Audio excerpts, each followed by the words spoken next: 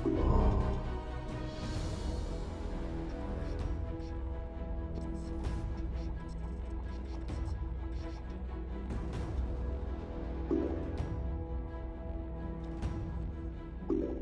Corps has come up with a plan to steal codes from a Xenos craft and use them to breach the giant force field at Ashland.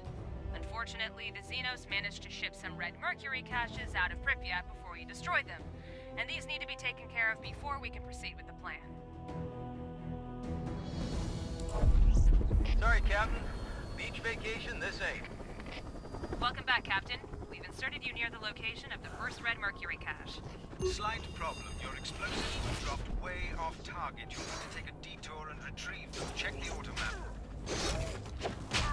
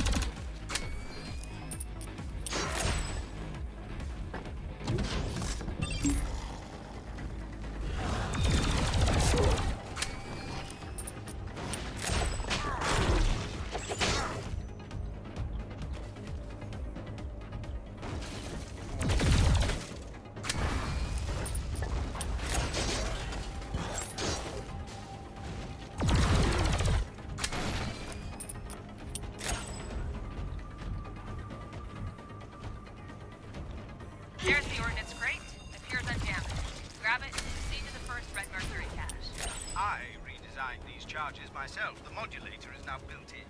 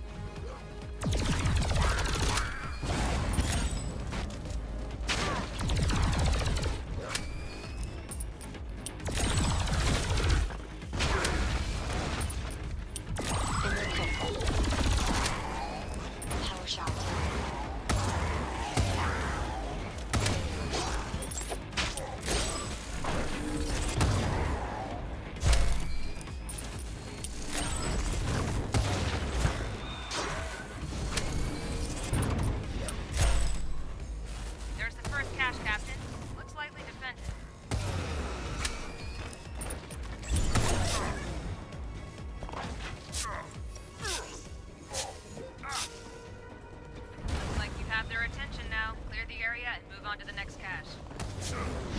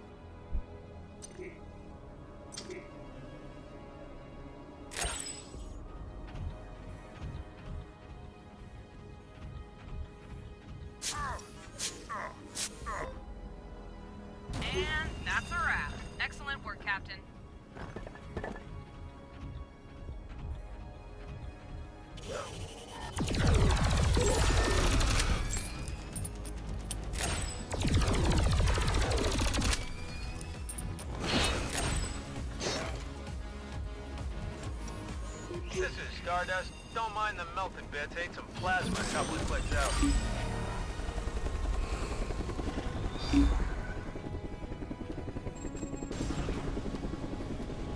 Power shot.